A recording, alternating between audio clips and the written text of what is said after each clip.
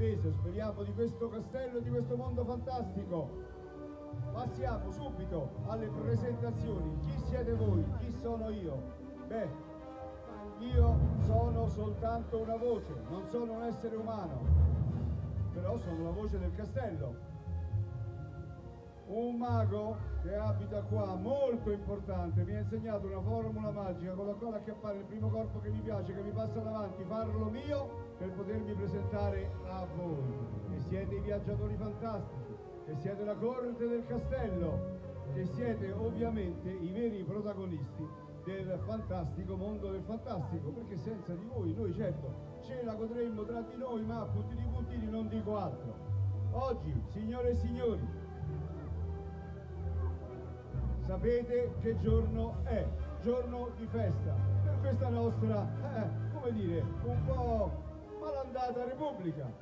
Ma noi abbiamo intitolato questa giornata in un modo che ci fa ben sperare, perché grazie a tutti questi fanciulli che sono qui con noi, di tutte le età, dai 3 ai 300 anni, specialmente con quelli dai 3, speriamo di trasformare con un po' di tempo a nostra disposizione questa Repubblica Italiana in una fantastica Italia. Quindi datevi da fare, fate il pieno di energia, di fantasia e di buone idee e propositi qui al castello e poi si vedrà cosa si riesce a combinare nel mondo di tutti i giorni. Quindi pertanto godiamoci questa nostra giornata perché in fondo, in fondo, ma diciamo la verità, come diceva un noto personaggio, gli italiani, siamo tutti italiani allora anche noi il 2 giugno abbiamo la nostra parata, ma ovviamente è una parata fantastica. E allora diamo subito il via alla nostra giornata. Signore e signori, formula magica, anal track, utwas bedot, dokiel, vien vien. Portare del castello, antico portale, apriti e scosta i tuoi battenti. E guardate un po', usciamo con il nostro vessillo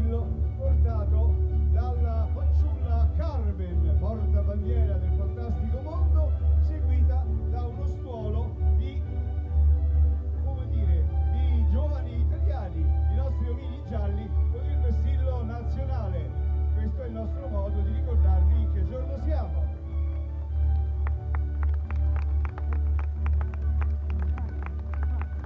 Molto bene, ben trovati, benvenuti. Wow, ma questo è lungo voglio proprio vedere. Vediamo, vediamo, vediamo, vediamo. Lo portano a fare una passeggiata. E ora, signore e signori, possiamo cominciare a volare sulle ali della fantasia con qualcuno che se ne intende un bel po', perché arriva volando dall'isola che non c'è al castello che c'è e come se c'è lui l'eterno monello volante Peter Pan inseguito dall'eterno rivale il capitano Uncino. Wow Uncino, duecino, treccino va bene, treccino quando ti fai il treccino signore e signori come sapete sospendiamo qui l'inizio del duello sempre perché esso poi andrà proposto ai piedi del castello al relitto della nave pirata dove anche voi sarete compartecipi come? scopritelo bene signore e signori ma voi sapete che il mondo della fantasia è popolato di meravigliose fanciulle che ci fanno tanto sognare.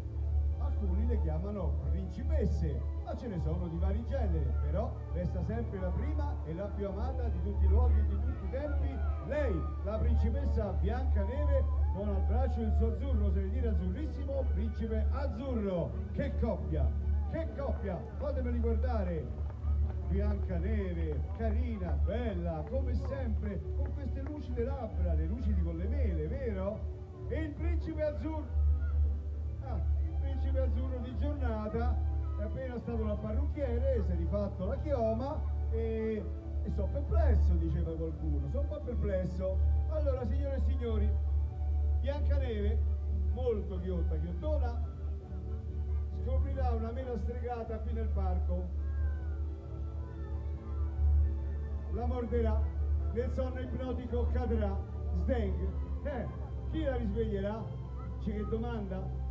Principe azzurro, la conosciamo la storia, eh, ma questo principe azzurro, diciamo così, un po' kitsch, sono stato quasi gentile, eh? la risveglierà, ce la farà? Abbiamo un piano di riserva, un puntato, ho puntato in puntato, ho letto tutto di seguito, voi siete il nostro piano di riserva, tutti in fila, bambini, bambine, solo in casi gravissimi, gravissimissimi, i papà per baciare Biancaneve. Nel caso dovessimo arrivare allo sciagurato momento del bacio del papà, vi ricordo che il boschetto di Biancaneve è pieno di sciami, non sono calabroni, non sono pappataci, non sono vesponi, però sono sciami di scapaccioni. Ci siamo capiti? Vabbè, sorvoliamo. Signore e signori, la fiaba di Biancaneve, la sua storia non sarebbe neanche incominciata se qualcuno non l'avesse provocata. E chi? Beh, tramava le sue trame da un oscuro e nero castello di pietra, niente, po' di meno che lei, in persona, la regina Grimilde, la perfida matrigna. Che donna, che donna, che donna, che donna strana però. Primo, nasconde una strega dentro di sé. Secondo, che non mi pare neanche normale, parla con gli specchi. Ma vi sembra normale? E allora, a lei sembra normale. Signore e signori, non ci credete, mi faccio specchio e ve lo dimostro. Magia, sono uno specchio. Oh Regina Grimilde, buongiorno, ben trovata, guarda di qua. Rifletti. Ah, ah. Io mi solletica?